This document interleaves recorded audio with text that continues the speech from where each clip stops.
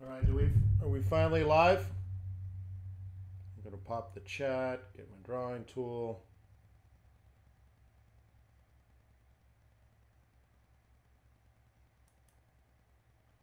Got that wonderful Microsoft update.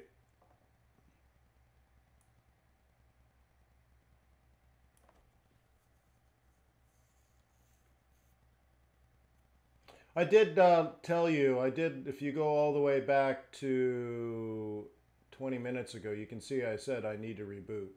It's in the chat. Sound is low. That should be about right when I get this here. Uh, PC is just crawling after this update. Uh, everything is slow.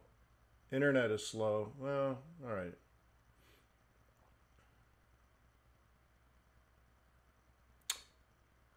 Guess it's all right because I'm I'm broadcasting, so that's going to slow down a little better. So I don't know. Every everything is weird today. It was one of these things where I, I was actually setting up the webinar. I don't know, 45 minutes ago, and just everything was crawling, just crawling and crawling. So yeah. No, I guess streaming plus pulling 340 is all right. So I don't know what it is, but you can just you can hear like the I don't know what it is. I guess it's the hard disk spinning, or is it? I mean, the fans are going like crazy, and the you know the computer's not. So I, I don't know. Thank you, Microsoft. So one of these things. I have a perfectly fine computer. I guess I need to buy a new one again. But anyways, yeah. So it's not just the modem. It, it, the machine is slow. I don't know why. It's not running anything. But anyways, uh, let me remind you that trading is risky, not appropriate for everyone. Your past performance, good or bad, is not necessarily indicative of future results. Please stay small, stay humble, focus on the long term, and never risk money you cannot afford to lose. So happy morning, happy Thursday. Jobless claims surprisingly higher than expected. Yay! Some little more risk off. Nice. Cool. So uh, somebody said earlier today they made three thousand bucks today. Right on, Otis.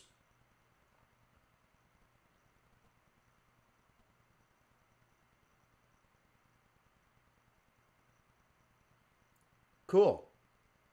What did you trade, Otis, to make your three grand?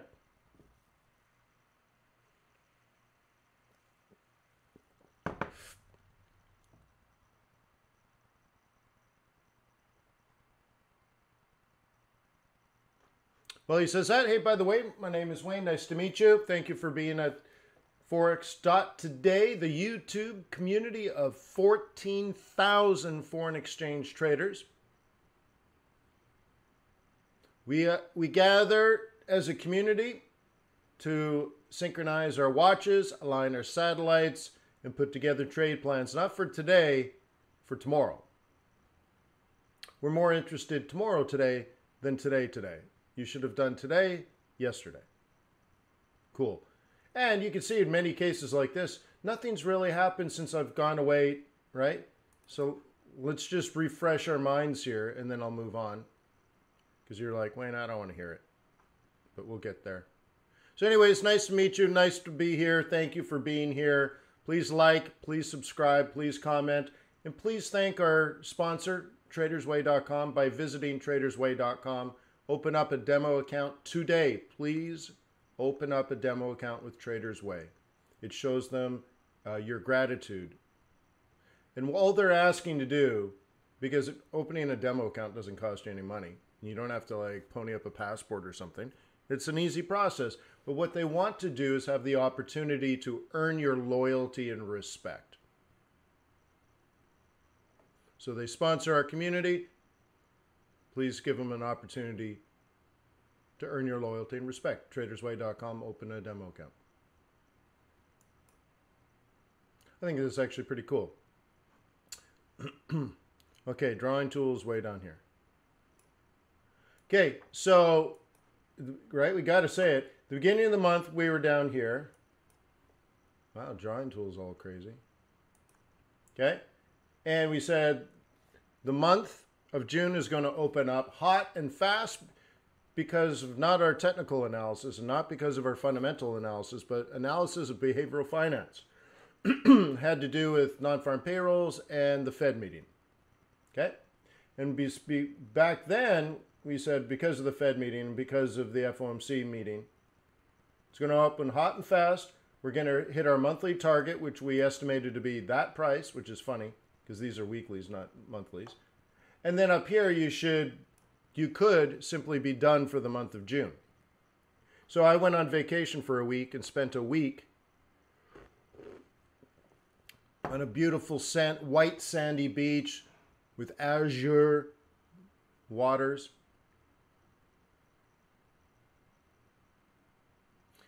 Right? The kind of place where the President of the United States goes on vacation. Cool. And what did I miss? I missed the re- retracement that would have taken profit away from me. cool. So, like, a week goes by and it's nothing but down, but you got to remember we were long. Cool. So I, I, missed nothing but down. And now, um, one week later, nothing's happened. nice! You got to know when hold them, know when fold them. Okay, anyways. So now we're trying to like trickle down our economics and trickle it down and try to get something to do something. Okay? But one one thing you might recognize if you drill in here one of the things we talked about sort of up here when we're talking about leaving the market, becoming a, a spectator more than a participant, is that you will need to adjust, right? You will need to adjust your expectations of the market. We talked very casually about behavioral finance and that we expect, based on that analysis, to lose volume and volatility. Okay? And in a week, on this pair, for example, we did hardly anything, really. What's the range? We'll call it 64 to 65. So we had a 100 pip range. What about the week before?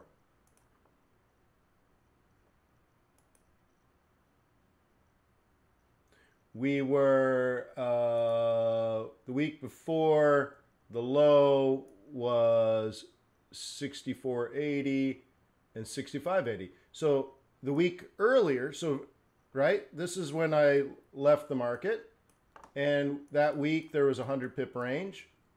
In the second week there was a 100 pip range. But the week i was in the market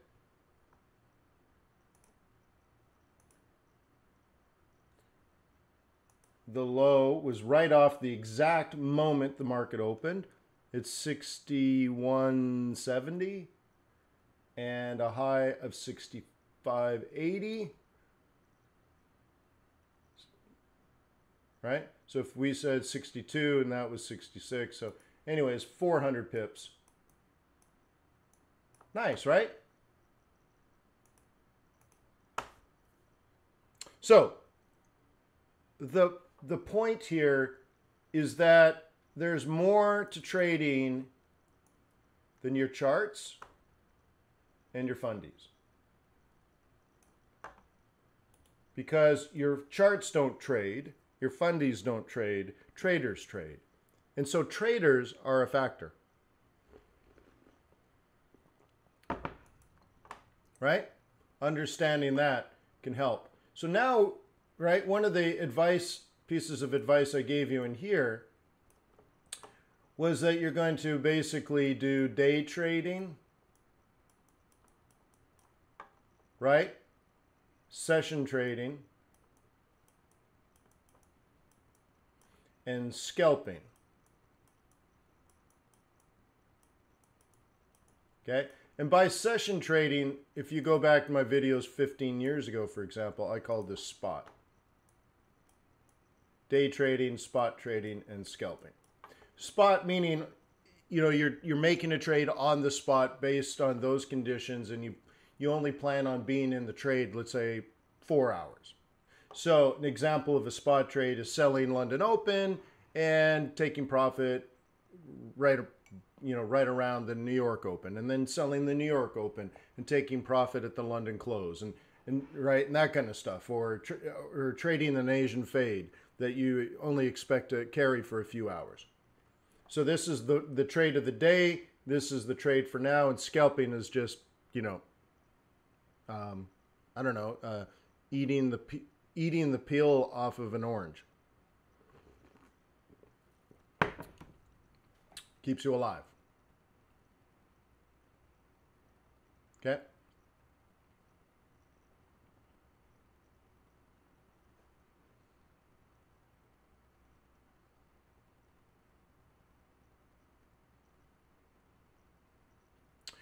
Well, a couple of things, Peccary. There is no Ryan's methodology. So, see, that's what I'm worried about. Uh, and I warned you guys about that. Don't think of it that way. You're really going to mess up and, and confuse. It's price action. It's price action. There is no Ryan's methodology. And because the more you use language like that, the more you're going to separate this from general trading conditions. Okay? Price action is always the proper way to enter a trade. It always has been. Okay? It's how you trade, right? An open of a market. If you're a bear, you're going to sell at resistance and you're going to time it properly. Okay? It's price action.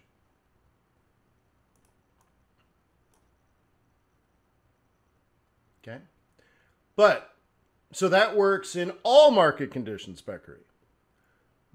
What I'm suggesting is not how you enter your trade, but how you your expectations for a trade. So if you're going to trade at the open of a London session, you're going to trade your bias and you're going to have your expectations set by whether you believe it's a day trade, so it's going to last 24 hours, whether it's going to last like four to eight hours, or if it's going to la- last a couple of minutes to a couple of hours, right? This is a day, this is a session, this is scalping. What you're probably going to see less of is like a big monthly swing or a big weekly swing, or at least you're going to try to get these, but your expectations are different, okay? So when I'm like, this is going to be a hot and fast week, and then we're going to lose volume and volatility, dude, first of all, we called this before it happened, and we said after this hot and fast move, we would lose volume and volatility. Well, based on the analysis I just did, volume and volatility has dropped 75%. Only because I exited the market. yeah, I'm that big. Oh, uh, Ryan's a coach at FX Bootcamp Live. Right? Yeah, yeah. So Peccary, uh, uh, uh, and by the way, I hope I'm pronouncing your, your name properly. Uh, I'm, I'm always worried about, you know, showing honor and respect to people. So when I've never actually met you and shook your hand, I hope I'm pronouncing your name right. But, anyways, um, I'm picky on language, and the reason I'm so picky on language is it's part of neuro-linguistic programming. And what most people don't understand if they've never studied NLP, because NLP is weird because it, uh, a lot of people that don't understand it make up things like, oh, well, you're manipulating people. And like, whoa, dude, whoa, settle down, bro. Um, NLP is most powerful because it uses language to program your brain. For example, most people don't listen to you you're right. 99% of of what you listen to is your own voice, internal or external. So the voice and the language you use shapes how you think, and how you think shapes the actual shape of your brain, right? So I'm very picky with words, and I annoy people because very often people say they talk one way even though it's not grammatically correct and you have to spend time interpreting what they said into what they actually mean, which I hate. And then writing, oy vey, most right people write very poorly. Um, So, anyways, I'm picky on words and language and word choice, and sometimes English isn't the the primary language, or it's not what you meant, but it's what you typed, and you're like, well, Wayne, I'm just typing in a chat room. All that is true, but I have to acknowledge what you said and coach. So you said what you said, you typed what you typed. I need to, right? I need to do what I need to do. So, anyways, yeah. So you're a law student, right? Right? Yeah, yeah. So the little dictators matter, even subconsciously. I'm glad that you agree. okay? But I drive my kids nuts because they say, oh my God, this is so hard. I'm like, it's not hard, it's difficult. A stone is hard, climbing stairs is difficult. They're like, God dang it, this guy drives me nuts. Yeah.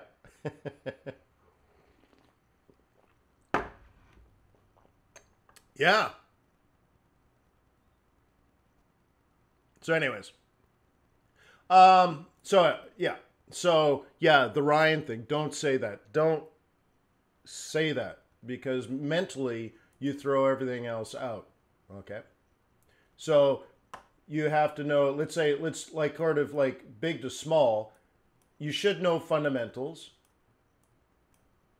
We've discussed this over several webinars lately. If you don't understand how the world works, uh, then good luck controlling the world, right? Okay, fundamentals.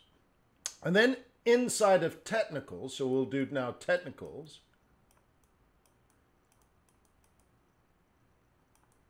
Okay. Um, there's going to be what I believe, and I've always said this price action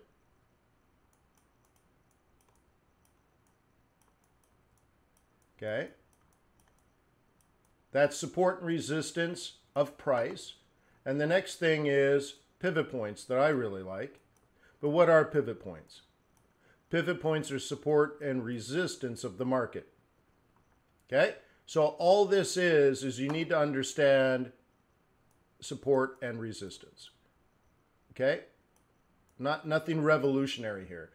Okay? And then under here, you might even add a subcomponent of um, tr uh, trader psychology, behavioral finance, or something.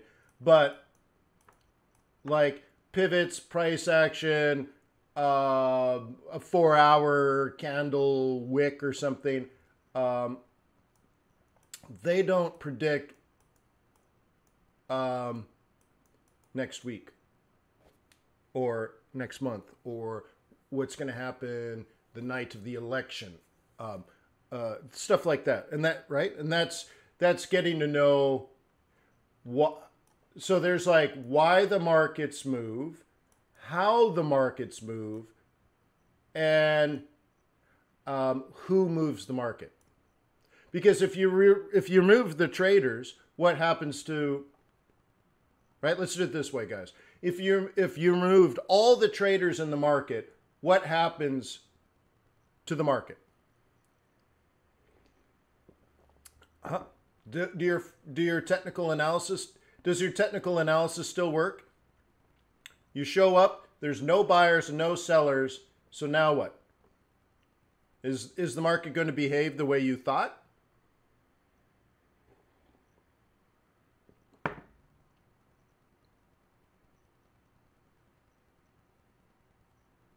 Yeah, well, yeah, huge spread, stalls, like, but nothing happens, right?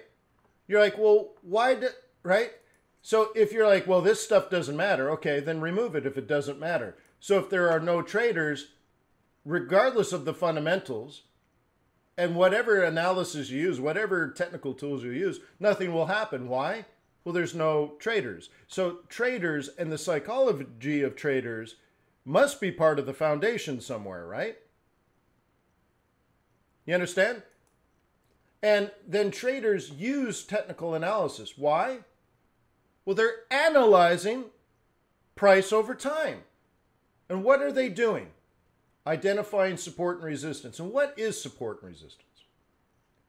From a trader psychology point of view, what is trader uh, what is support and resistance? A good price to buy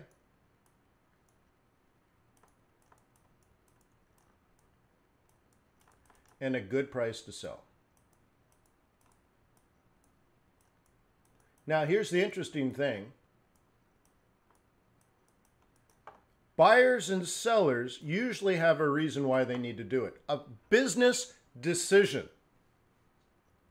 A business decision could even be you sending money back home to mom and dad. Or you going on vacation because you finally want to see Venice without hordes and hordes of horrible tourists. So you're like, we're going to Venice. Need to buy some euro. Great, good for you. Okay? Or it could be whether the company builds a factory or not.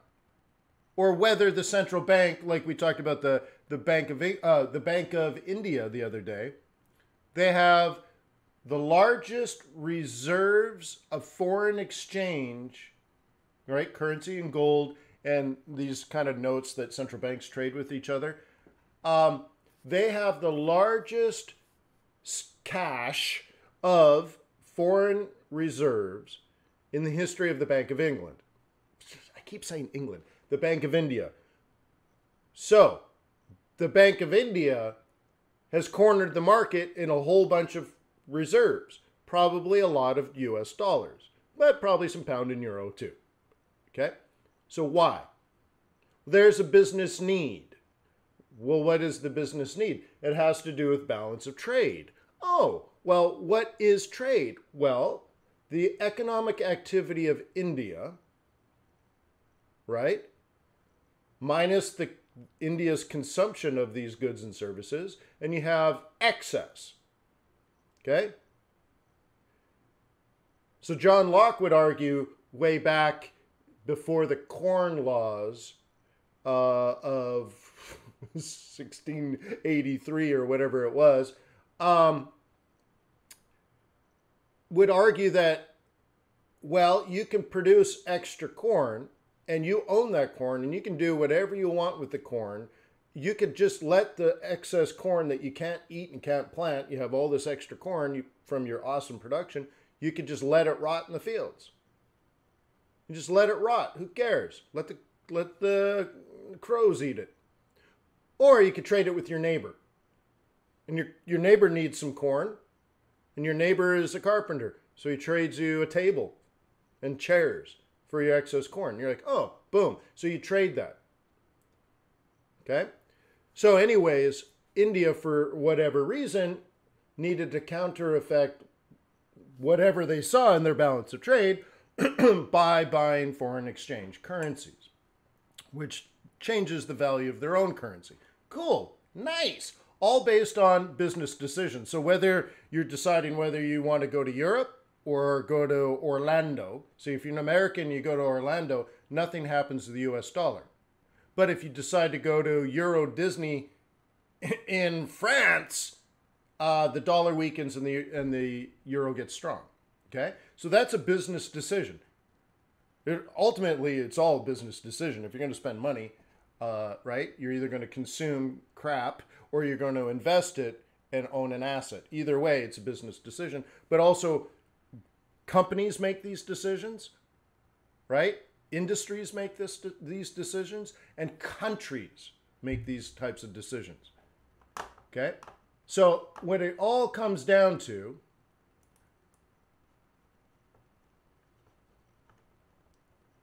is you need to know if what you're doing in the market. Are you a buyer or a seller? That's it. And once you've made that decision, and that's a business decision, and then you should mind your own business. So once you've made a business decision, whether you're in this market as a buyer or seller, now you're simply using your charts and your trader psychology and whatever alpha God has has poured out of heaven for you, you make a decision of what is a good price to buy. So if I'm a if I'm a buyer, well, let's say I have this set up as bearish. So if I'm currently a seller, I just have to ask myself, is this a good price to sell? Is this a good price to sell? Should I sell now? Well, what about now? Should I sell now? How about now? Should I sell now? Or should I sell later? Okay? But you kind of have to have all these components. You have to understand why the markets move, how the markets move, and who moves the markets. But that's a very kind of different look at trading, right? So it's kind of cool, okay? It's kind of cool to say, let's make a lot of money this week and then take the next couple of weeks off. Isn't that cool?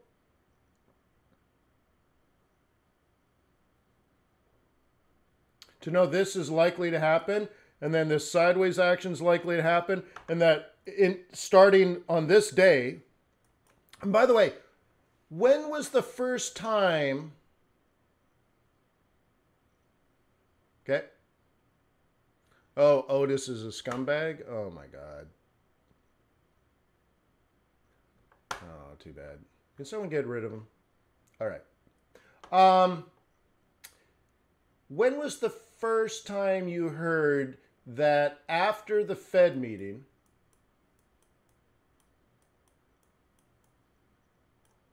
in June, it becomes summer, and on that day, you will change your behavior and your expectations. When was the first time you, you heard me teach you this?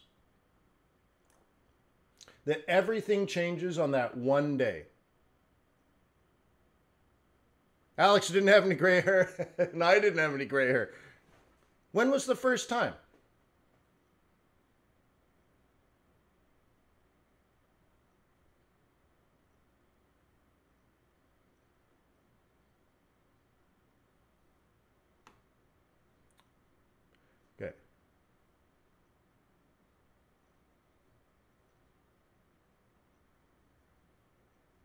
Otis says he's not a scammer, but let's try to figure this out. So you are promoting a service by logging into other people's live webinars, spamming them with an advertisement to, drone, to join your group because you make thousands and thousands and thousands and thousands of dollars a day, but you can't afford any proper sort of ethical advertising and marketing campaigns. Like, dude, if you're good, buy some ads. If you're good, do some presentations. If you're good, contact like industry um, organizations that could lend you some, you know, credibility or respect. But dude, the fact you come in and spam people for your service is pretty low. It's kind of like that that guy we were talking about yesterday or the day before. Like you show up to buy ten million dollars worth of gold from some guy in Ghana, and he meets you at a coffee shop because I guess he doesn't have an office, and he shows up and he can't afford to pay his taxi bill. So you pay for his taxi, pay for his coffee, and you walk away. Like, dude, you make seven thousand dollars a day and you, you can't afford advertising? Oy vey, seriously? Yeah, well, maybe you'll spend, send him money and he'll trade it for you. But he can't afford, like, let's say, let's say you can't afford to, I bet you don't have a real corporation. You're probably not licensed and registered. Uh, what, what are we going to, I mean, like, gee whiz. Yeah, it's like the lowest of low, right, Maida? Like, really? Seriously? Wow, it's terrible, dude.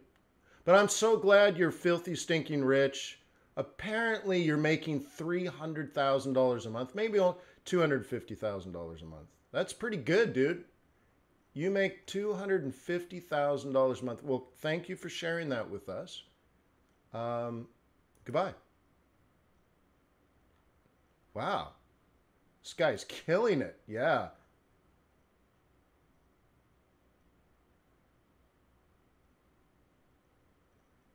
Wow. No, my, my God, you should be happy for him.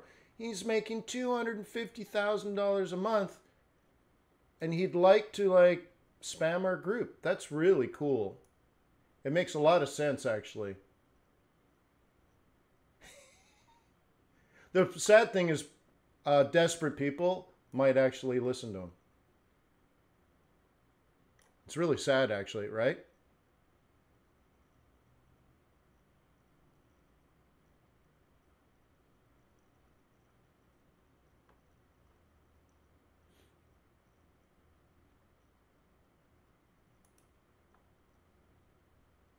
Yeah.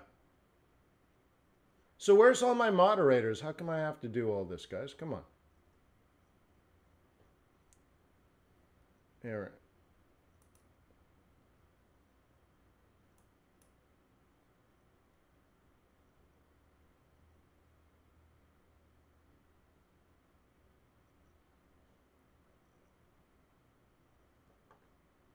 Cool. Yeah, it's very predatory, right? So, anyways, it, it's funny. Like, how much money do you have to have in an account to make four thousand in a day or ten thousand dollars a day? Right?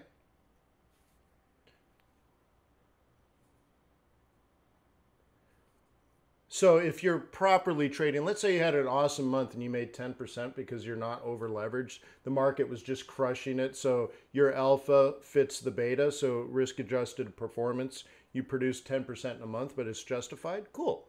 10%. So you need at least 40,000 in cash. Right? So that's good. I mean, you could totally do that.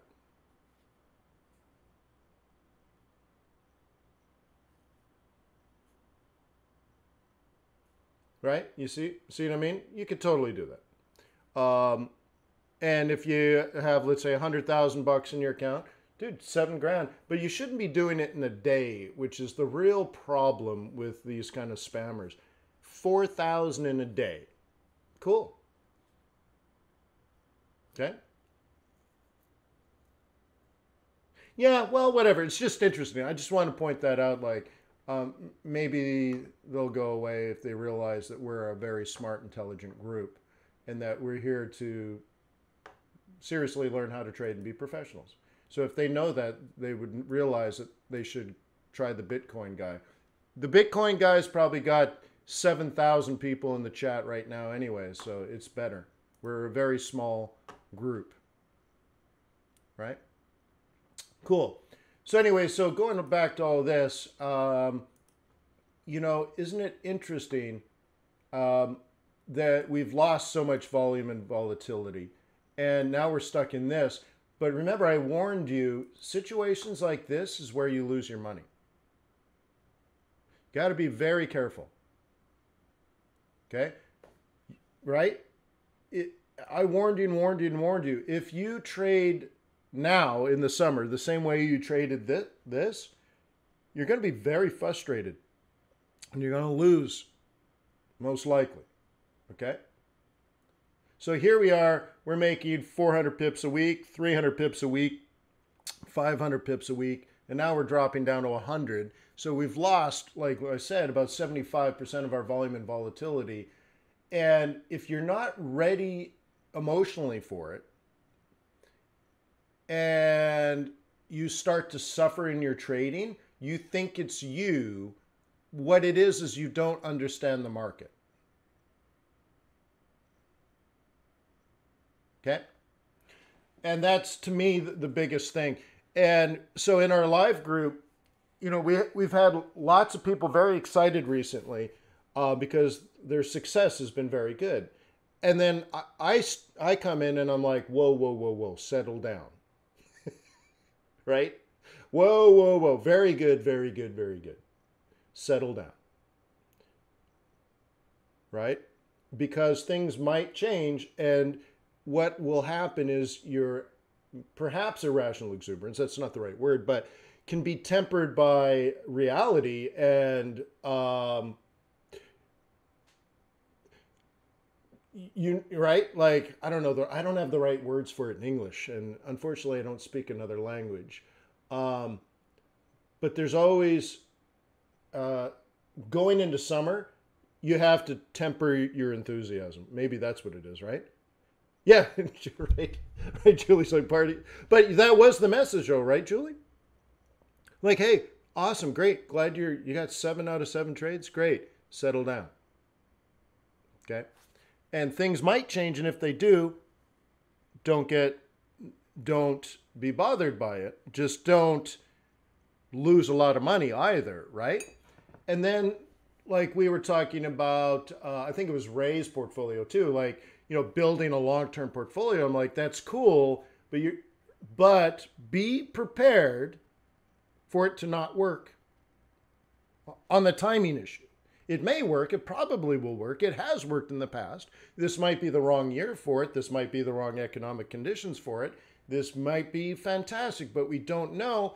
But remember that if you're building a portfolio, that it may take a year or two to build this, and it may get frustrating. Can you handle can you handle a 100 trades of which 70 are break even? Okay.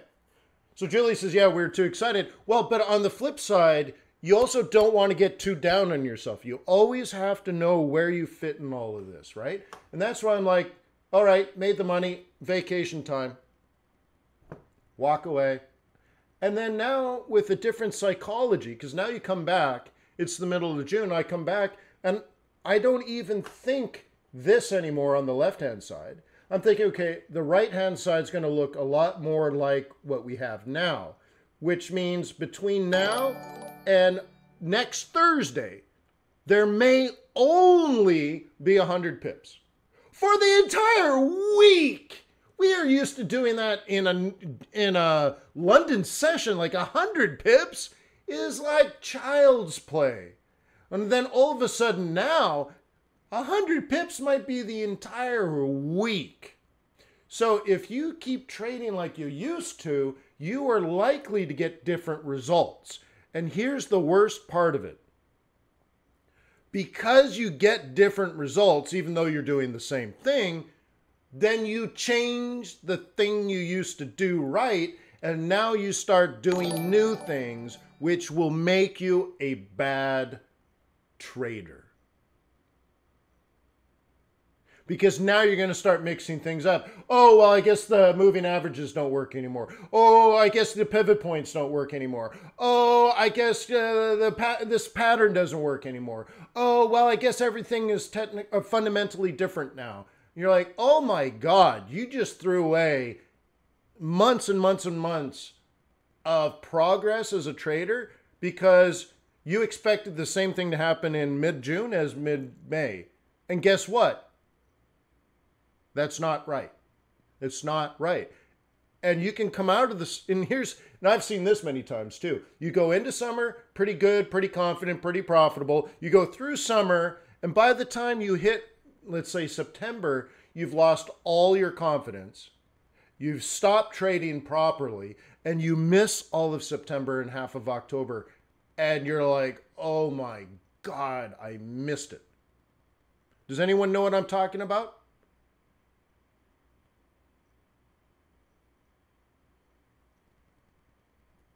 Have you ever watched a thousand pip move and not participate?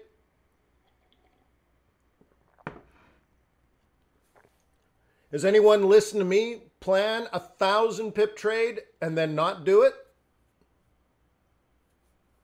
Sucks. But you have to recognize that part of our psychology. Okay? You have to recognize it right? You can't run away from it. You can't hide from it. You can't pretend it doesn't exist. So now you have to change gears and literally trade differently, but not changing the methodology, so to speak. All you're doing is changing your expectations. And you're saying, okay, well, on a weekly swing trade, this is the weekly swing trade, by the way. So that may have been just one trade and you're done now for the entire week. And if it doesn't hit that target, if it doesn't drop to 63 from 65 and some change, okay, 63 to uh, 63 to 65, right? That's 200 pips. But we know based on this week and last week, we're not likely to hit 200 pips. Okay? So you're like, is it because you're a bad trader? Did you do something wrong? No. Okay? But you should still trade you the way you normally trade in the sense like drop into smaller time frames. So instead of using a four hour, which I typically do, right? I right? Maybe you use a one hour. And instead of being in for a week, maybe you're doing more day trading. Or you're doing something like this, like literally you sold here Okay? Literally, you sold here and you're done. Why? It's a lower high off a double top. It's so straightforward, it's boring. Double top, lower low, lower high, sold it, done, walk away. What'd you do this week? Well, I sold on Tuesday. Okay? But I want you to like what what is your intent? You must have in this situation especially specialize in one currency, guys. One currency. Specialize in one currency. Do you love the Great British Pound or do you hate it? So now there's a bias.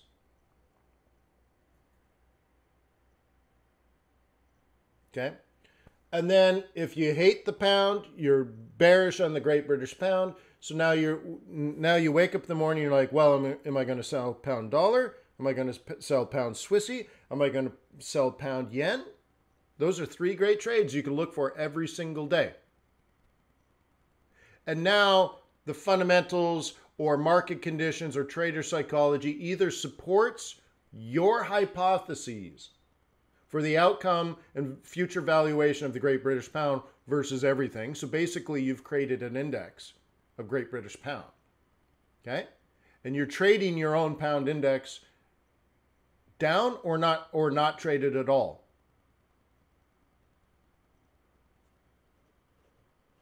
Okay? You, you see where I'm going? And now you can do that for the day, let's say, in the concept of where we're going in the week. Okay, so this is clearly a trade.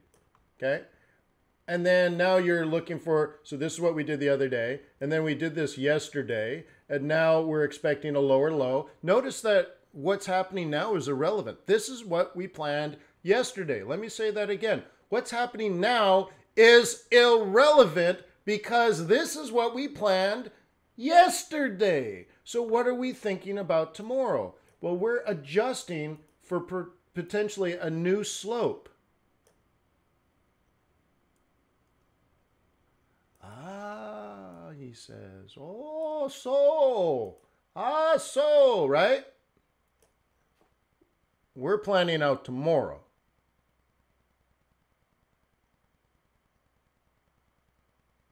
Oh my God. Okay. Oh my God, Becky. Okay.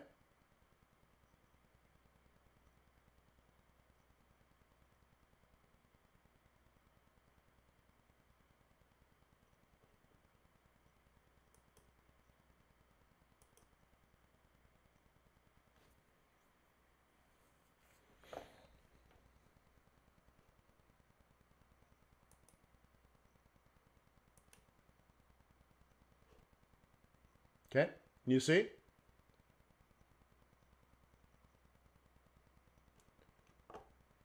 Isn't that cool? This is what you're seeing now. Amateurs are jumping on. Why? Because it's moving now. And really, it's yesterday's trade plan.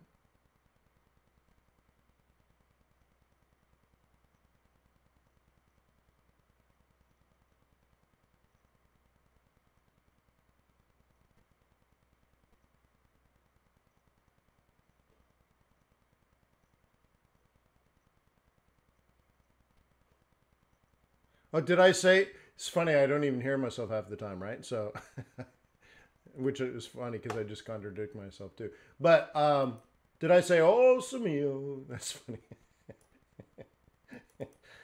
oh, that's yeah, how funny. Um, it's funny how I say that.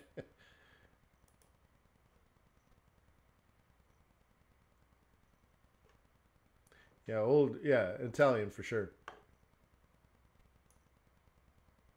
Cool, right? So lots of people are chasing this now, and they don't understand that you can casually plan this um, 24 hours in advance. And that you're already planning tomorrow. So a lot of people are going to trade this after it's already moved, right? So let's kind of put fold this in a little bit. And let's go out to the further one. Okay. So um, you're a bear. Double tops, lower lows, lower highs. Okay? On a four hour. Cool.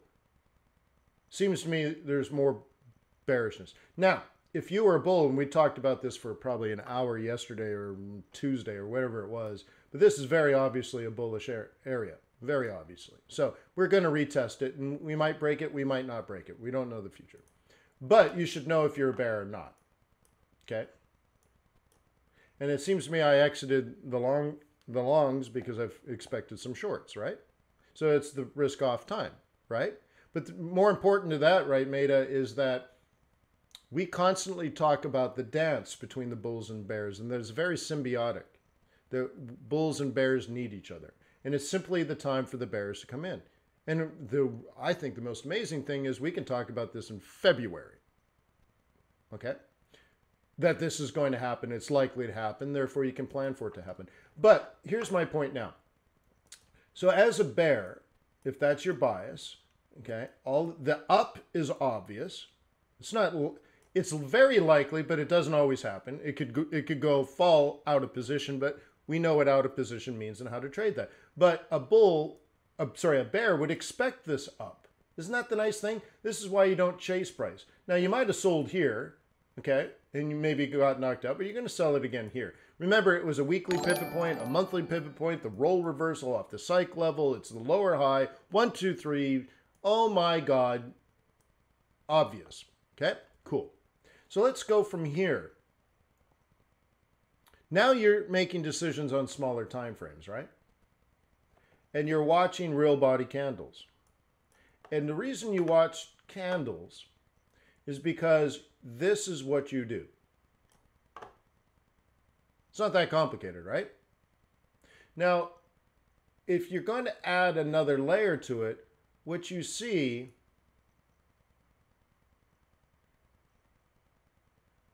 is stuff like this. And you might say it's choppy, but then I say, well, if you look at it on a different time frame, it's the same as right? One down, down, down, down, up, up, sell, down, down, down, down on a daily chart might be like this on, on a four hour chart or an hourly chart. Down, down, down, down, up, up, sell, down, down, down, down, up, up, sell, down, down, down, down, up, up, up, down, down, buy, right? Whatever, but certainly no more down. And then eventually lower, low, lower, high, lower, low, lower, high. And it's the same pattern repeated. We call this fractal, fractal geometry. So I'm giving you a little fractal geometry lesson here. Hope you don't mind. So we're moving from behavioral finance on Monday to fractal geometry today. Okay? And what you're seeing is simple moves on the macro level okay? An even higher macro level. And then inside of that, actually, let me do that in a different color. So there's that level. There's this level. And then inside of that, you're doing the micros. Down, down, down, down, up, up, down, down, down, down, right? Oh, oh, oh, oh, oh. Down, down, down, down, up, up, down, down, down, down, up, up. And you're hoping for this to play out. Right? You're hoping for this move to pay off. And the whole time, all you're doing is this. When I was in South Africa back in whatever, was it, it's probably been four years now, the first thing I said is this is the pattern you need to memorize. First thing out of my mouth. That was the last time I've ever done any formal training. I only did it because Ryan asked me to come to South Africa. I'm like, okay. What city? Jo- Johannesburg. Uh, okay. Do you, and then when you're done, we can go see the lions and the tigers and the giraffes. We'll go to Kruger National Park. Um, that sounds really great. Always wanted to do it. I'd love to do it. I don't have time. I have to go back. but I'll come to South Africa and hang with you. So, anyways, um, that's the pattern. And this represents your bias. Because if you're a bull, here's the pattern. That's it. That's the secret to success.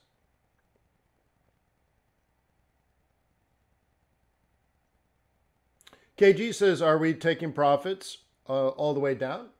That is your alpha. That is your trade plan. Because you can do this only. You can uh, you can do this and this. You can do um, all of these actually. So so like let's really look at this. Okay, double top. How many people here agree that there's a high probability uh, to trade short if you're a bear?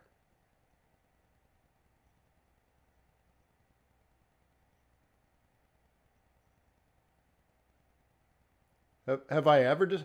Yeah, I do it all the time.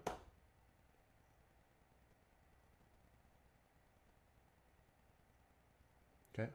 There's there's one. Uh, if you go to FX Street and you search for their 2007 International Traders Conference in Spain, I'm recorded sitting on a panel outlining a 5,000 pip trade that's going to happen 90 days from me doing the speech. I said, it's not going to happen now. It's going to happen in 90 days. Let me tell you why.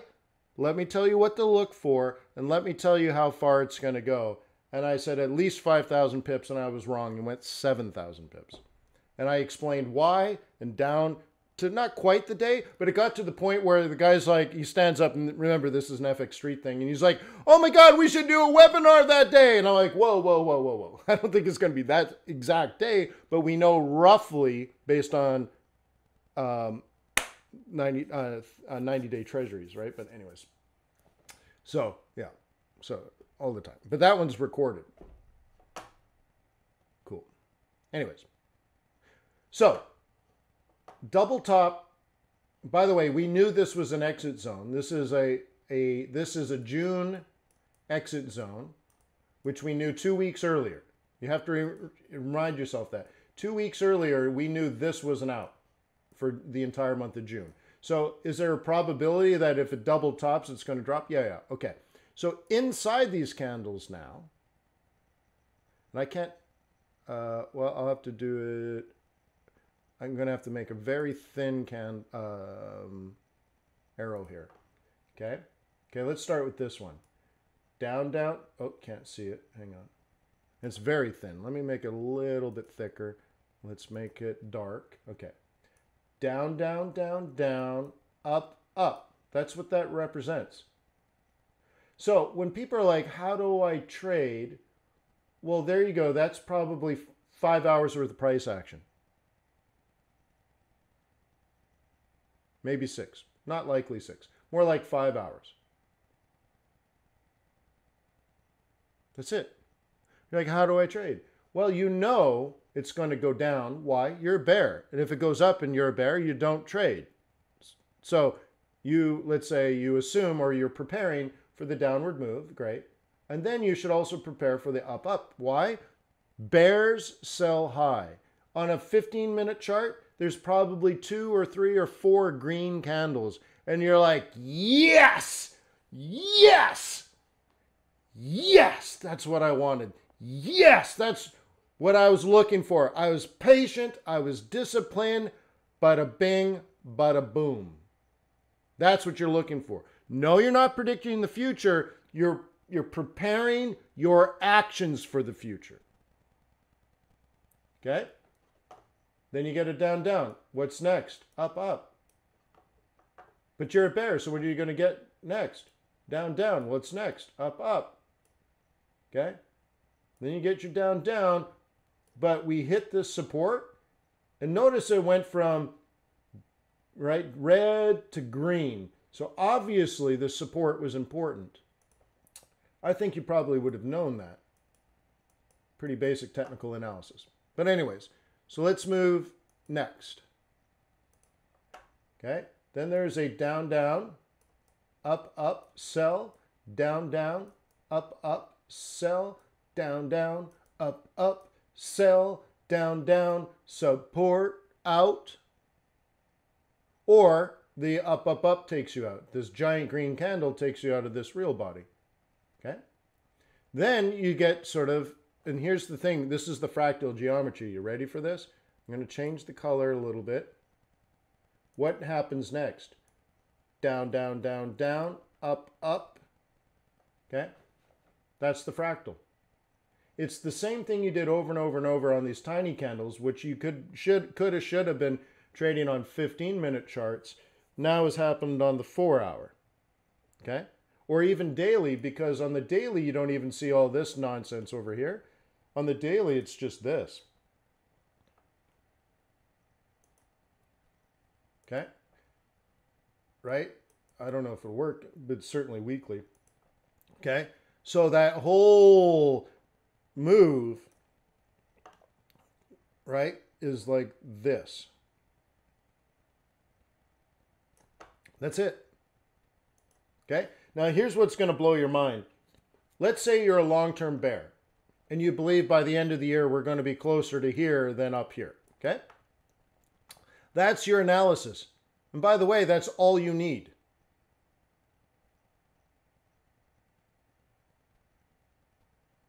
Right?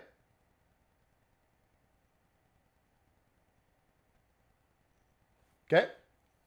So here's the interesting thing. Even if you're a bear on the higher time frames, before you get the long-term bearishness, you're probably going to need something like this. And that's what I call summer.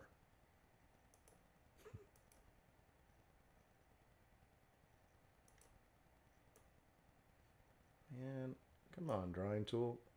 There we go. Down in June, up in July, down in August kind of idea. And then you anticipate the lower low going into the end of the year.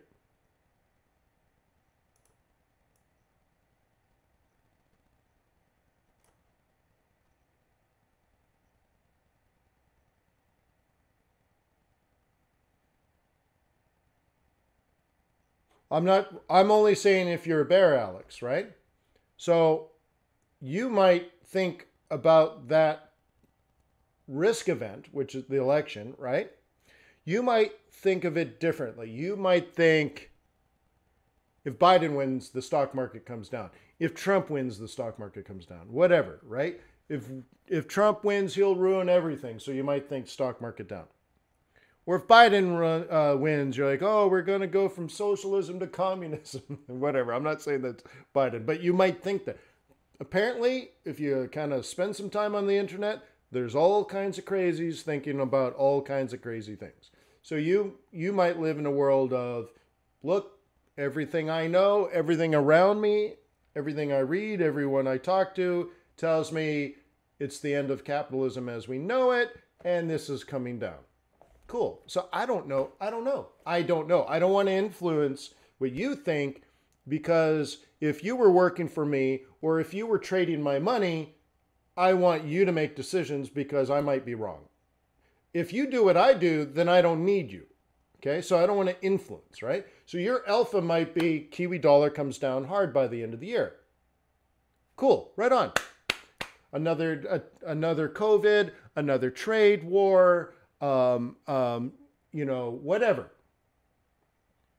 That all of that is possible, right?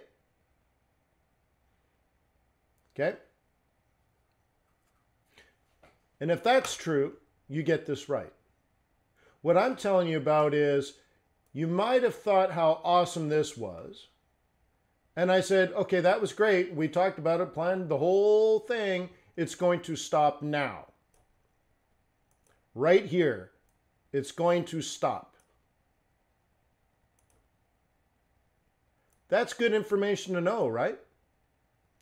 The next part is just because it's fallen and may continue to fall hundreds of pips doesn't make it bearish yet.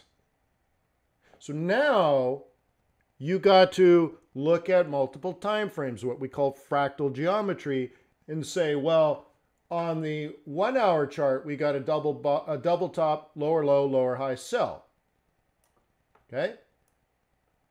But Grandpa, Grandpa Elliott, Grandpa Wave says that's going to happen on multiple time frames. So on this time frame, we will also need either a lower high, lower low, or a double top, lower low. So we might have, let's say, till the end of the week, drive this down. Next week is up, and the week after next week is down. Holy crapola! We're talking about the rest of this week, next week, and the week after next week. And the week after next week, next week after, and then the week after, the week after, the week after next week. Okay? Okay? Coolio, right? So I'm, I'm challenging you to think of the market differently. Here's a weekly trade. See, when I look at this, if I only looked at this chart, I have a couple of problems. First of all, if I'm a bull, we're getting pretty close to that, so that bothers me. Okay, but I'm also going to play this. Whoop. So let me mark all of this as, let's say, a big player might. Ah, he's not going to use that. Come on. Okay, so you're a big player now. You're a big dog. You're a corporate CFO or something, okay? And you're trying to plan the rest of the year, okay? I'm like, okay, I see the bottom, I see the top. So here's what I think is going to happen, um, right? We have the up, up, up, up. We have the down, down. And we'll probably take it north there. Or we're going to take it north here. So you just planned out the next, let's say, two weeks on the first one and six weeks on the second one. And you're done.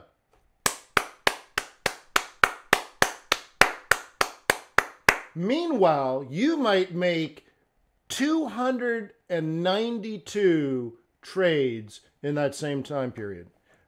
And what I'm trying to teach you is don't forget what other people are looking at. They might see two trades in the next six weeks. You'll see 292 trades. And I don't want you to think it's going to do this forever. Because for it to really truly to make a downward move, you're going to need an upward move on a smaller time frame which then creates the downward move. So on and so forth. Fractal geometry. But the nice thing is, it's just that. It's just that one pattern. Okay? So if you were trading this, and let me get rid of uh, let me get rid of that horizontal line. Okay? If you were trading this, wouldn't you kind of do something like this? Ah, no, wrong one. Gee whiz. wouldn't you do something like this? Wouldn't you expect a 382 Fibonacci retracement?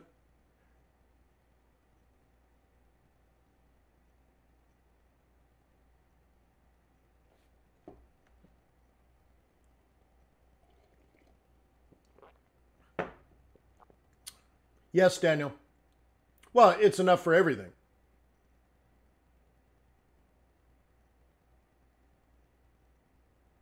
Okay. So for this to happen,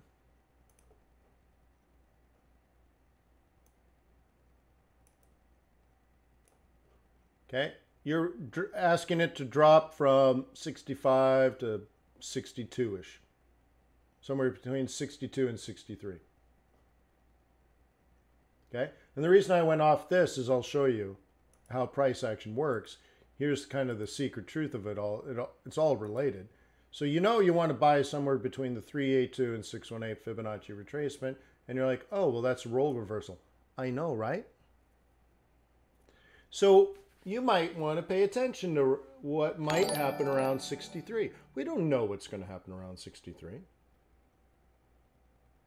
But I want you to recognize that it might be a slow road down and then a slow road up and if you don't see the other traders in the market, you're you're likely to almost be like late on everything. You're looking to your charts to tell you what to do. And that's a very precarious place because the charts don't know what humans are going to do before they do it. Okay? They can't they can't think, but they can just pump out colors. Okay? So you can say, well, this might be a very interesting move. Okay? And that might be three weeks of bearishness.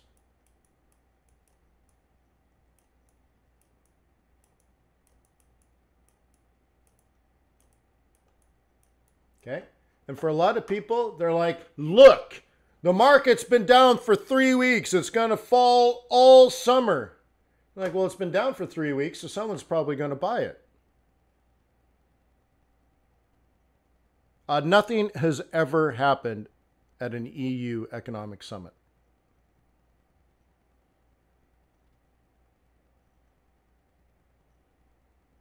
Okay. Here's what they do. They meet, they drink cigar they drink wine, they smoke cigarettes, they uh they right? And then what? They send out a press release and they say they agree to work together. They agree to work more closely together. Nothing happens.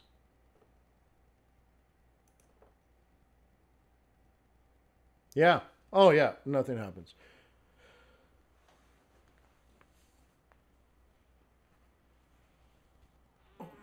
Right? It used to be, there used to be some internal politics. Like when Lagarde was finance minister of uh, France, and what was that guy's name that was the finance minister of um, of Switzerland? Um, I can't think of the guy's name, but they were both really smart, and they were both going after the IMF job. And all of a sudden, like a dead hooker shows up in his hotel room, and Lagarde gets the job. I'm like, that is the oldest political trick ever. You're like, uh, well, we're reviewing your application to head the IMF, but we have a problem with that dead hooker in your hotel room. Was it Han? Yeah, that seems about right. I'm like, oh my God, what? That's old school, right? And that kind of stuff doesn't happen anymore, I don't think. Yeah, it's an OG move for sure. Oh, really? Yeah, yeah, yeah, yeah. Uh, and so he loses the job he loses his reputation, his career is thrown in the toilet, and then they're like, uh, he's innocent. He's innocent, but he's ruined. Yeah, no, it's really good. So, um, so those kinds of things used to be quite exciting, right? Strauss Kahn, there you go. That's definitely it. Not, that's definitely it. Thank you, Javier. Yeah, Strauss Kahn. And so, anyways, so like Lagarde now is in charge of the ECB, but he would have been in charge of the ECB by now because he would have done the IMF for what three years, and all of a sudden then take over the ECB. So this was all sort of pre-planned, and Strauss Kahn would be leading the European Union.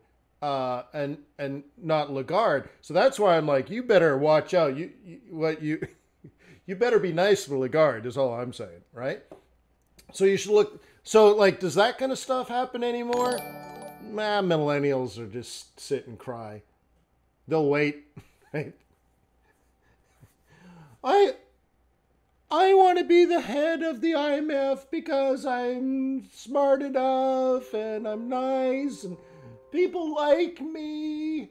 Right? Like, dude, if you ain't willing to kill for the job, you're not qualified. That's all I'm saying. Right?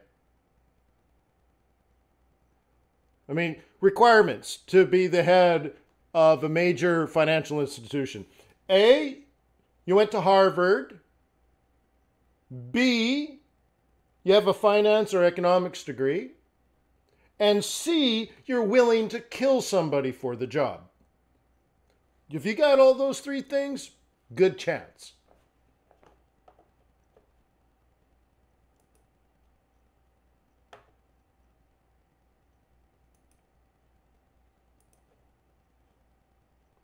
Yeah, I'm up next, right? I mean, the other way to play it is Did you go to Harvard? No, I went to Yale. Do you have an economics degree or finance degree? Yes, I do. Third, are you willing to kill somebody for the job? Well, I'm willing to kill you. Very nice. We'll accept the Yale thing.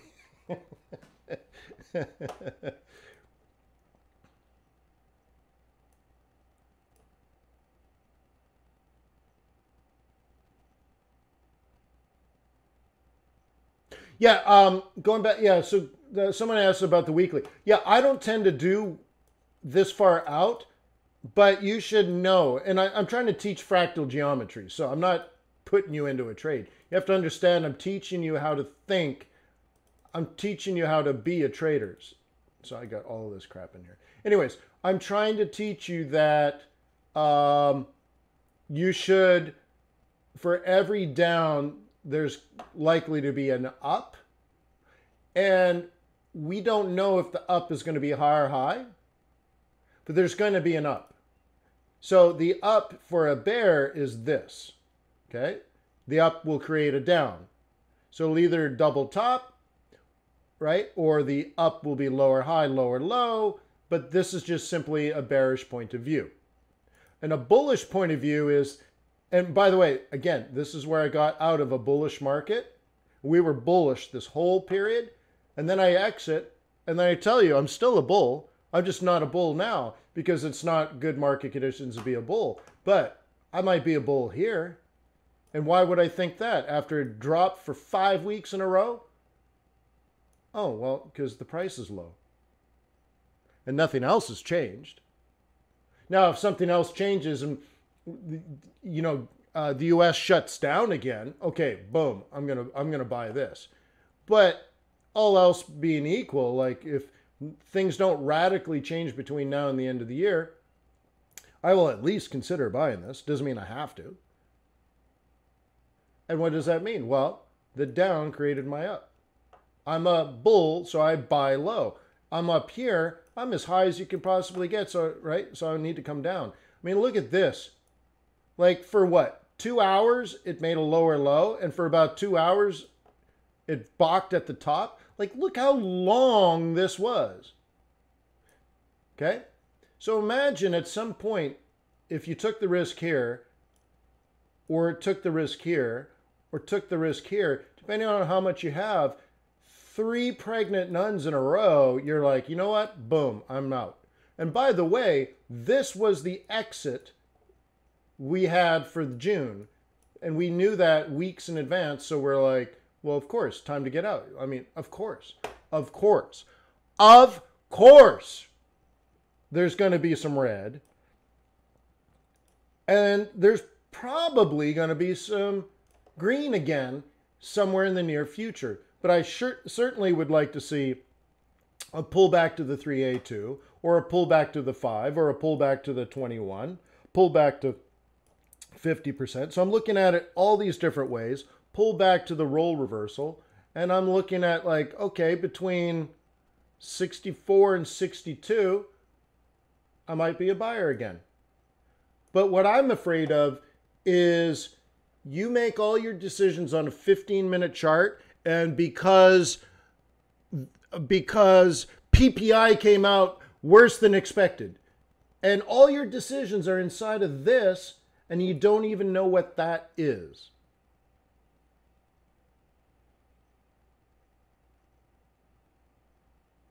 Okay?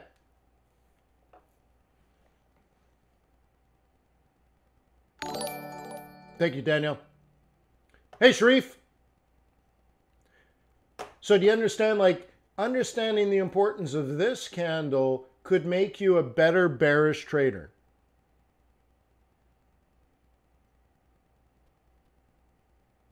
And understanding that that candle is likely to show up soon will make you a better bullish trader. So now you could say, well, I might be short a couple of weeks into this price zone. First challenge is going to be the 5 EMA. The second challenge is going to be the 21 role reversal. So somewhere between the 382, right, which is the 5 EMA, and the 50% it's likely, or it's very possible, not even likely, let's just say it's very possible that this goes up. So as a bear now, you're like, you can tiptoe short for the next two or three weeks until you approach these prices, and then maybe you back off. And it's hard to back off because you see the market coming down, and then you turn on CNBC and Bloomberg, or you read the Financial Times, or Investor Business Daily, or the Wall Street Journal, or whatever you do, Fox Business, and they say, oh, the market is down because because of this reason or that reason or this other reason and that's what's happening and blah blah blah and it's all ridiculous nonsense. It's all ridiculous nonsense. Okay it's all ridiculous nonsense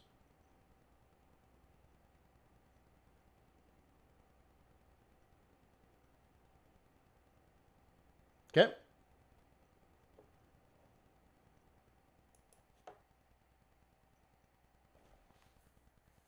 So you think of it this way. You either believe the US is going to shut down their economy again, or we've made it through the worst. That's it.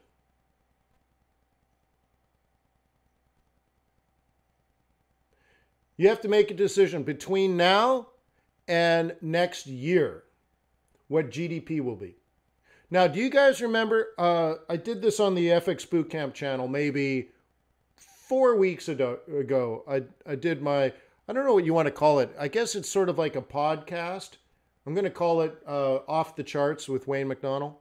I guess it's more of a podcast. It's me with a newspaper and a cigar sitting in my backyard. And I explained why I thought GDP was going to be like 5% next year. 4%, 5%, huge GDP next year. Did anyone see that?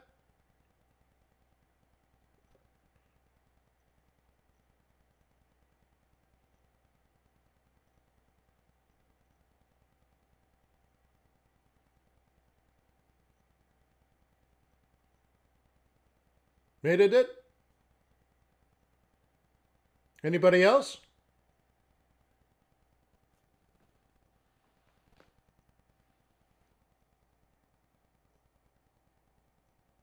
Well, make sure you subscribe to the FX Bootcamp YouTube channel as well.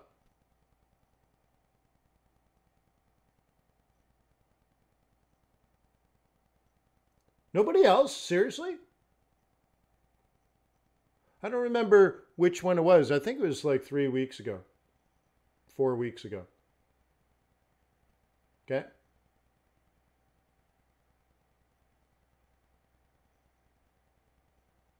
Okay, cool. All right. So that means in this move here, that was my thought process. And by the way, on the way down here, every single day I, I said create a list of 10 companies you want to buy simply because you think they'll be around in 25 years.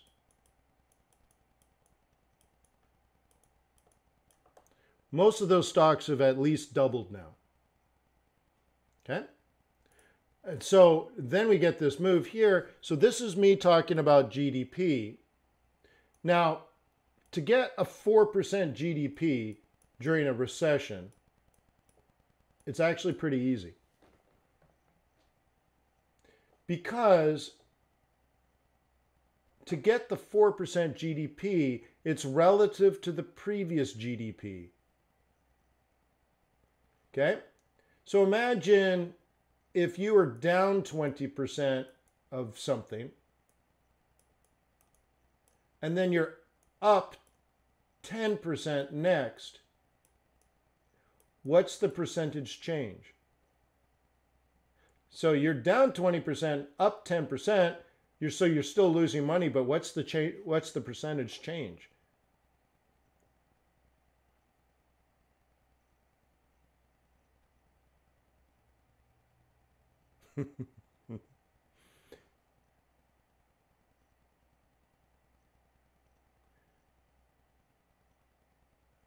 no. Uh, you guys are going to have to do the math. Okay, maybe ask Google. Maybe there's your homework today. Figure that out. It's not a negative number, it's a huge positive number. Okay? Okay? And it's not 10% either. But, anyways, do the math. Uh, but the thing is, it's a big positive number, even though, okay, even though in reality it's not a big deal, statistically, it, it, it looks bigger than it really is. Like, I'll give you a different example. If you lose 50% of your trading account, how much do you need to make to get back to zero? To get to zero, back to no change. You need a 100% improvement to get back to no change. You see what I mean? just to get back. So you're still where you were. So, but you had to do a hundred percent to get there. But nothing's changed. So nothing's changed. So like think of it this way: if GDP fell by fifty percent, you need a hundred percent. You need to double the productivity of the entire country to get back to where you were. So you might get the statistic like, oh my God, GDP is up 100%. And you're like, well, we're just back to where we were in 2019. So, like, who the hell cares? You see what I mean? To, to be back at zero. So what's the big deal? You're like, you're back at zero.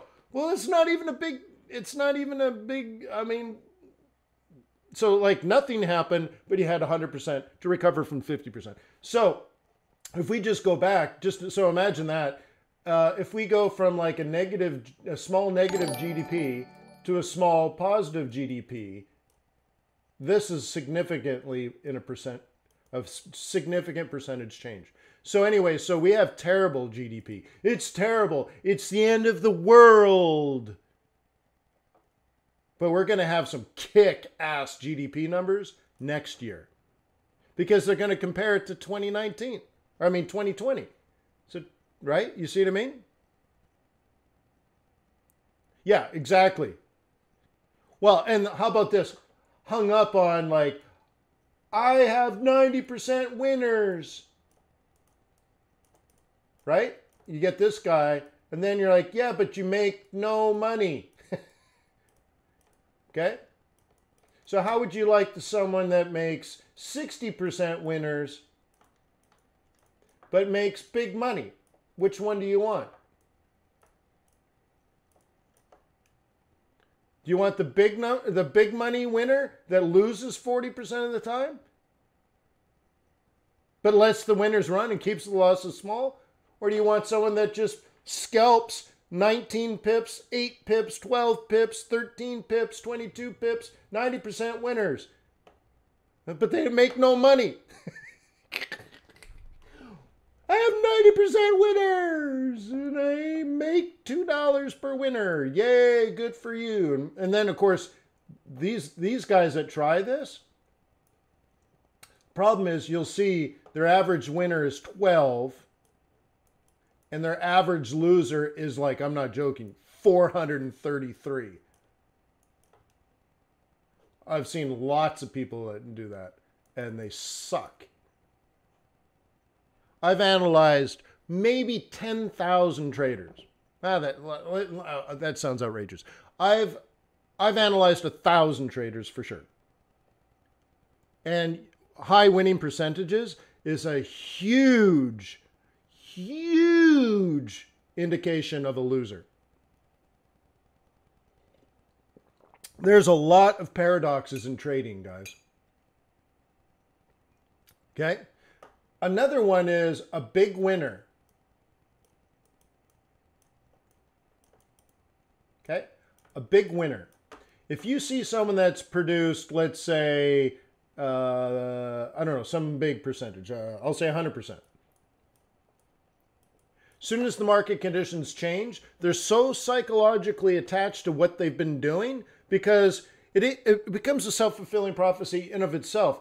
Because you're risk on and you're so bullish and you wrote books on, uh, let's say the US dollar is worthless. Okay, let's do that one. You've wrote books on the US dollar is worthless, that fiat currencies are over, that the blockchain is the future of the world, that no one, that the you're going to wipe your butt with $100 US bills because debt's too high and borrowing, right? And all this kind of stuff. And what else? So you've wrote books, you've been on CNBC, but more importantly, because of all these things, because of the the the publicity that you've attracted, people that believe in that same thing have congregated around you, gave gave you their money and, and they say, We agree with you, but you're the expert, so you sell the hell out of the dollar for us because we work we believe it's crap.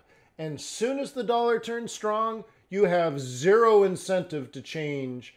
And you go from your awesome period of dollar weakness to you lose everything when the dollar gains strength. Because you're so tied in to that one thing what you re- the real message you need to hear from a coach like myself is that any sophisticated investor, especially institutional, they want to see how you behave through different markets. Okay? Sometimes the dollar is going to be strong, sometimes the dollar is going to be weak, and seeing how you adjust through the peaks and troughs is what they care about. Any idiot can sell the US dollar in a bullish market. Now, most people don't even understand that. Well, if the market's bullish, why would you be selling the US dollar? Fail, you're not a trader. Now, once you get that, then you have to be able to do it. But nobody's interested in that. So when you go to, up to somebody, you're like, I, you know, I made 100% last year. I made 200% a year. I mean, you know, whatever. Nobody cares. No sophisticated investor says, well, you made 100% last year, so I'm going to make 100% this year. Statistically speaking, you're more likely to lose money. So when someone looks at your trading, they look at the bigger market. Let's say this is weeklies. And so this is like six years of trading. They're much more interested in how did you see this this change? How did you see, and more importantly, trade when in this changing period? And how did you adjust in this period? And they look at the peaks and troughs. But dude, anybody can buy that. Anybody, dude. That's so easy. But the tip, the typical thing is, um, the, the dum dums catch that because it's obvious, but they don't catch this. And so they give it all back, or right? And then they don't catch this. And this is what institutional investors look for the troughs, the peaks, the troughs, and they look at like the political cycle, the business cycle, um, seasonality. All these things are much, much more important than like your winning percentage, no one gives a crap. Nobody cares except an amateur trader. But they are interested in how how much risk do you need to take to make a dollar? Do you risk $10, $1 or 10 cents? This is what's interesting. And when market conditions change, how well do you do?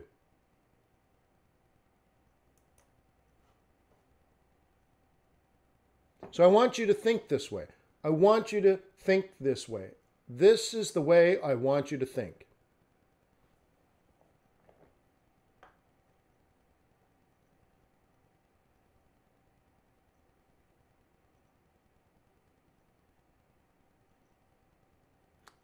Daniel, it's just math. Do the math. Okay. And then you'll have to also take it through future value, right? So the value of a thousand dollars to like the today's value of a thousand dollars you make 10 years from now is not a thousand dollars so like your billion dollars you're going to make in 30 years might only be worth 220 million today well apparently 5 trillion a day is your maximum that so it's it's sort of a silly question so i i, I know you're I, I don't mean to shut you down like that. I mean, you're a good person and you're loyal and respectful. Um, but I, I would caution you on even the thought process. Okay. So again, it's sort of an NLP thing. You're you're talking the wrong message to yourself.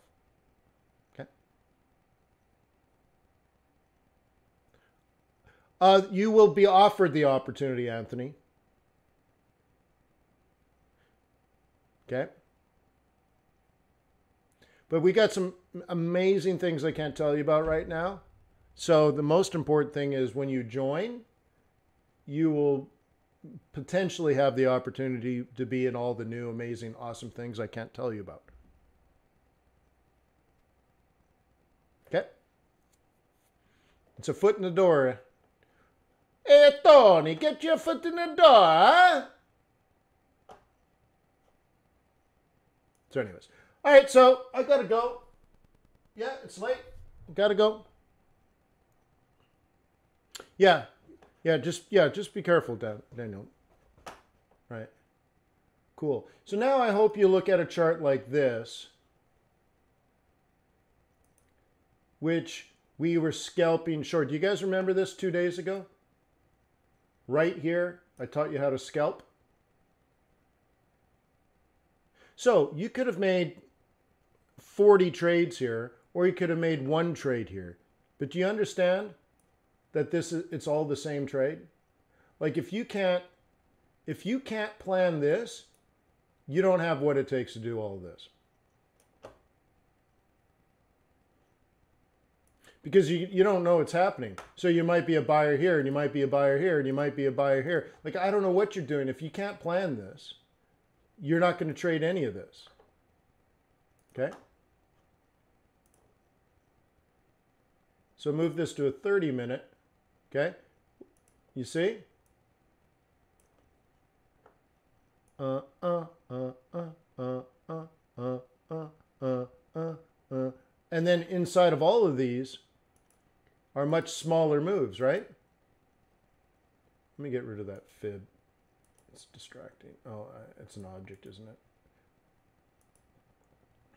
Fib, fib, fib, fib, fib. Delete it. Cool. So, um, look on this five minute chart and ask yourself if you were only a bear. Okay? Only a bear.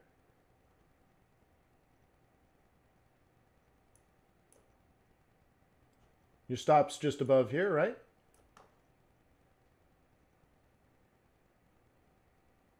Can, can you see all these moves?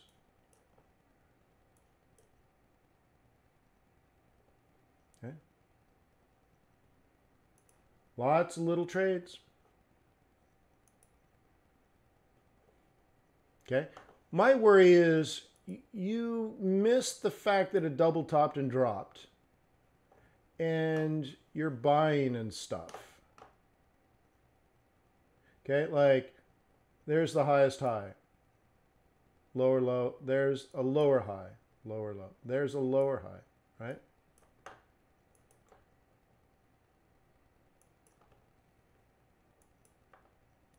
Like my my worry is you're buying in something that's obviously bearish in the moment.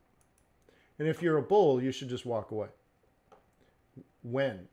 How, how long should you wait? Um, well, wouldn't it be cool if, let's say, my price pivots turn bullish? Right? See how this is in a channel down? And, and yesterday it was in a channel this way, if you recall. Wouldn't it be nice if you had a series of higher highs and higher lows? Well, that's all you're waiting for as a bull. Okay? But the more interesting part is being a bear.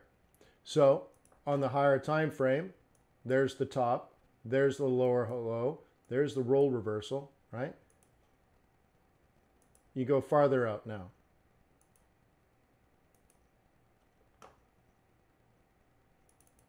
Okay? Right? We know this is overbought in here. Now you're waiting for the lower low. Then you're going to sell the lower high. And here's your lower low. By the way, let me take you through technical analysis. This is exactly the price a bull would buy. This is exactly the price a bear would sell. And if you remember, I drew all this and said this is where pigs get slaughtered. You guys remember that?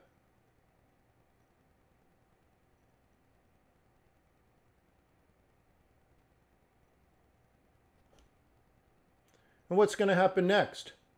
Well, between 24 and 23, you're going to get a bounce.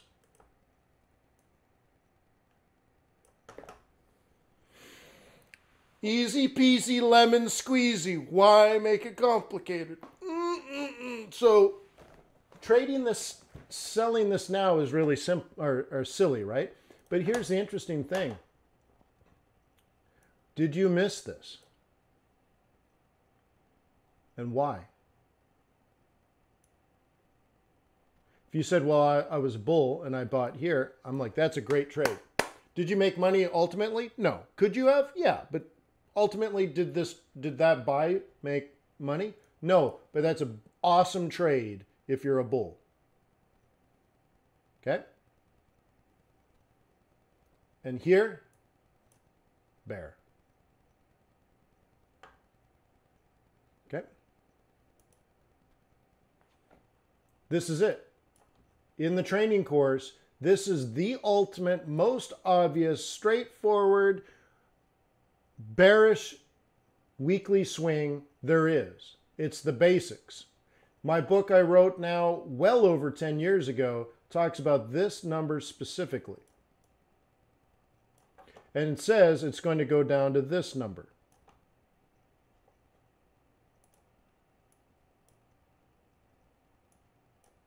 Okay?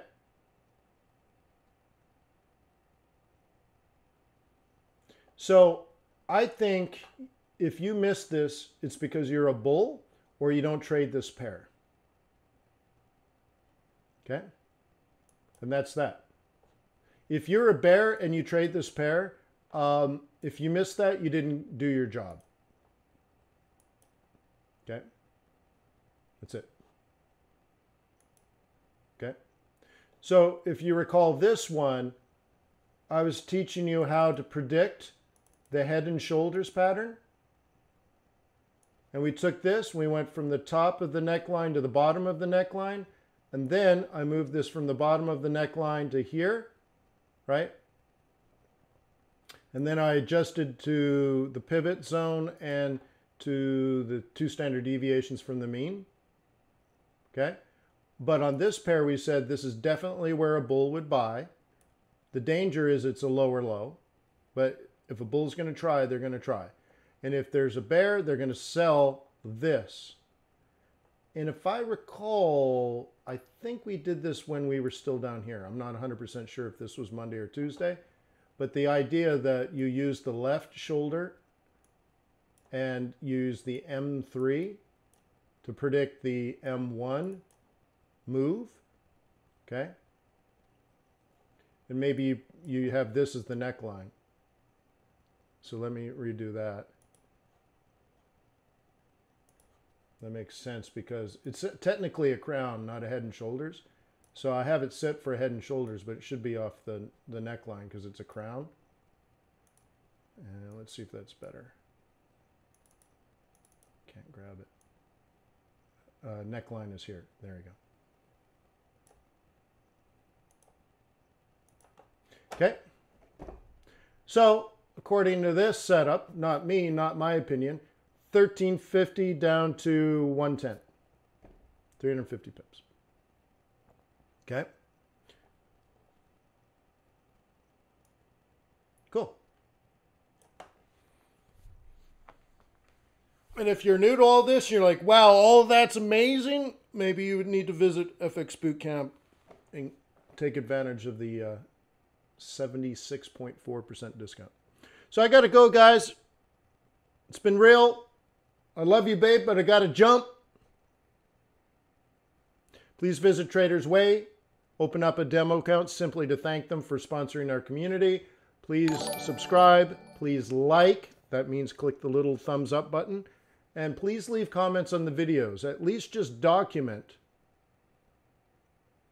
Right? Wait, Mr. Highvolt got blocked? Why did Mr. Highvolt get blocked? What did he say? Anyways, um, please like, please. Oh, yeah, leave a comment on the recordings. Simply document what you learned because later on you can search your comments and pull up specific videos. So if this was good on a head and shoulders, you might say, uh, I, I like the head and shoulders analysis and maybe even document the time that it occurred. Okay. And therefore, three years from now, when you're going like, oh, that head and shoulders one, and you do a search, you can pull up the exact YouTube video that I did out with this analysis. And you can say, or you can say, or crown, in case this is actually a crown pattern, not a head and shoulders. I don't care with the name. To me, it's all the same. But uh, I think that would be helpful if you did that. And, and why the hell was Mr. Hype blocked? He's one of our most loyal members.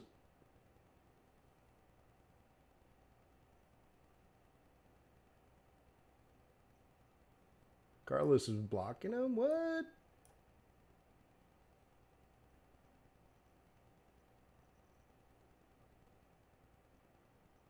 Oh, wait. Carlos is being blocked by Mr. Highvolt. Oh, well, why is Carlos being blocked? Yeah. Anyways. Oh, Carlitos. I don't know what he's saying. But anyways. I just log in. Yeah. Oh, are you all right, buddy? Those hair transplants hurt, huh? well, I hope everything's right, buddy. So I'll see you tonight, right? So tonight, guys, remember, we're going to get, what, three presentations of various central bank reports.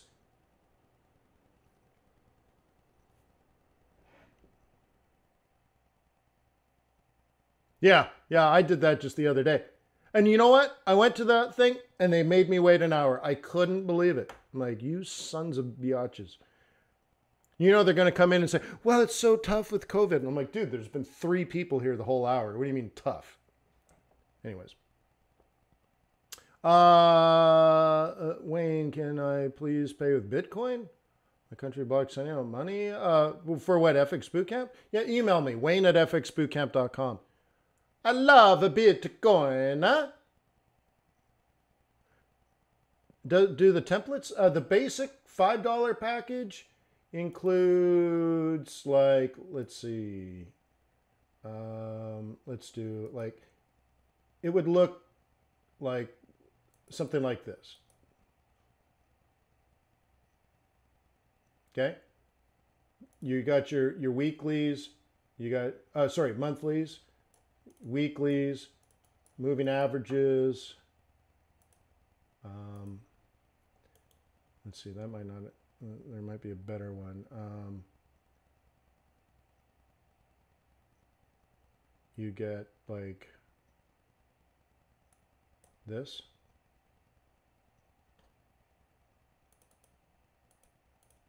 Okay. Um, this stuff here is for part of the um, expanded uh, toolkit. I think, right? Uh, like automatic Fibonacci, which is pretty cool. Um, trading sessions. Okay. That's pretty cool. So like, look at these like market opens, man. Dude, seriously. You don't trade market opens. what?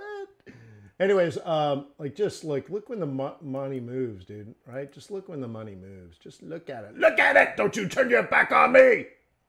Look at this. This open, and then this open, and then that open, and then this open, and that. I don't know how it works. Look at this open takes it down, this open takes it up, that open takes it down, this open takes it up. So anyway, it's like, whoa, whoa, whoa. Those are trading sessions, right? Uh, what else is on here? Uh, template. Oh, let's do here. Uh, template. Um, I don't think I have this one set up. Uh, uh I did. I had the other one. Um, and then zero lag moving averages are kind of neat. So here's your 21 EMA adjusted in real time. So here's the real 21 EMA and here's the 21 EMA updated in real time. Wah, wah, wah. So you could do something like, um, you can do this. Create your own template any way you see fit, but you could do something like this. And say statistically it's important where you are on this chart. Okay? Gives you a guide. Stop being a bear, start being a bear, right? So now you get something like if you're remember you should already be a bear. You shouldn't become something because you saw something on your chart. That's lame. But seeing consolidation here and you're already a bear, down, down, down, down, up, up, sell, down, down, down, down, right? And you might, each one of these might offer potential um, setups, and then you're like, oh, not anymore but maybe, right? So whatever. So there's some pretty cool tools on there in the complete toolkit, but that it's not necessary.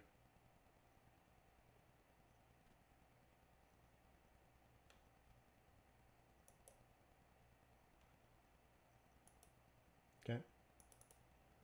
So like I like the automatic trend lines, right? One of the reasons I like the automatic trend lines is it's multiple time frames. Okay. Medium term, it's more bearish. Shorter term, it's very bearish. So you can look at it as this was very bullish.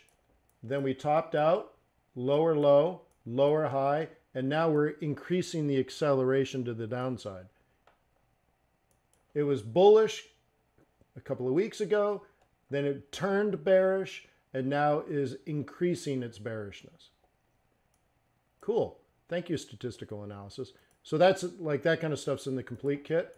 But if you want the standard operating procedure, like um,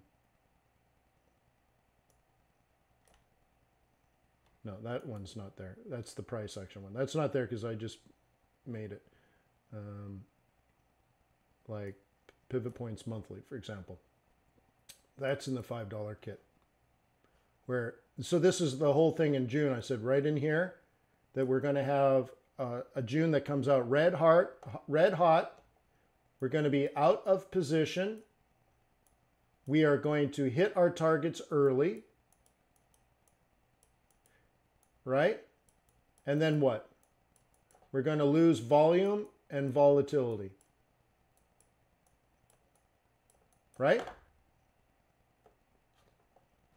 Up, up, up, up. Look at the accuracy here. So yeah, that's in the $5 kit.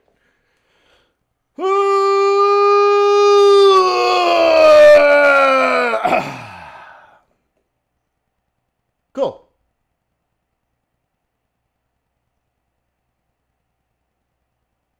Yeah, I saw that, Mr. Highvolt. I'm like, wait, Carlos was blocked by Mr. Highvolt. I thought it was the other way around there. So, anyways. I'm like, oh my. Anyways. So is he unblocked now, or?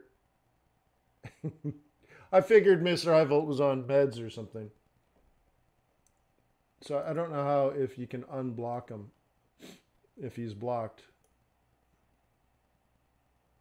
I'm going back in time. Um, oh, so you just timed him out. Okay. So hopefully he's all right. All right, so guys, I got to jump, babe. It was real. Peace on earth. May the pips be with you. May your profits be above average. Brinsley says the $5 costs too much, right? Uh, Barry, I was actually answering a specific question. So if that came off as a sales pitch, um, I didn't mean to. Someone asked me, "Are those included in the the five dollar thing?" So I was trying to say yes. It's less than four hundred bucks, Brinsley.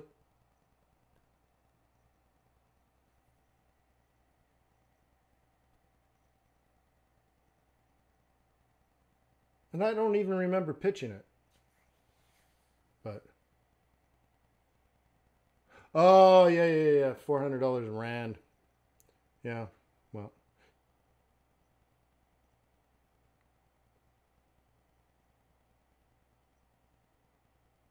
Cool. Well, I can't do anything about that. All right. Well, see you guys tomorrow. Thank you for being on my team, and then I'll see everyone in the live trading group tonight. Remember, so we got that presentation, and then we're going to do some group work.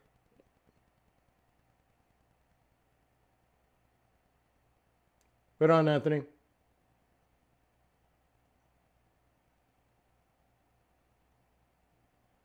Oh yeah, if you don't buy it on when on the first op, there's no second opportunity to get it.